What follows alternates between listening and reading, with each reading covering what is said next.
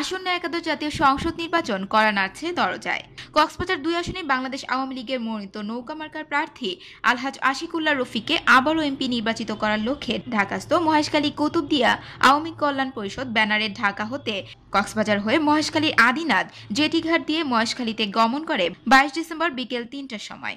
এ সময় বিপুল কর্মী সমর্থক নিয়ে মিছিল সহকারে মহেশখালীর বিভিন্ন গুরুত্বপূর্ণ সড়কে গণসংযোগ উত্তর উপজেলা চত্বরে পথসভায় প্রধান অতিথির বক্তব্য রাখেন কক্সবাজার জেলা স্বেচ্ছাসেবক লীগের বন ও পরিবেশ বিষয়ক সম্পাদক ও নুরুল হক ফাউন্ডেশনের চেয়ারম্যান মার্শাল পাবেল। জাতীয় শ্রমিক লীগ ঢাকা মহানগর উত্তরের যুগ্ম সাধারণ সম্পাদক ও কেন্দ্রীয় মোটর শ্রমিক লীগের নির্বাহী কমিটির সহসভাপতি হাউনার রশিদ হারুন। আওয়ামী লীগের নির্বাচন পরিচালনা উপকমিটির সদস্য আব্দুল আজিজ খান এ সময় উপস্থিত ছিলেন স্থানীয় আওয়ামী লীগ, যুবলীগ, ছাত্রলীগ, অঙ্গ ও সহযোগী সংগঠনের নেতাকর্মীরা। পথসভায় স্লোগানে স্লোগানে মুখরিত হয়ে ওঠে উপজেলা চত্বর। বক্তারা বলেন নৌকার সরকার বারবার দরকার।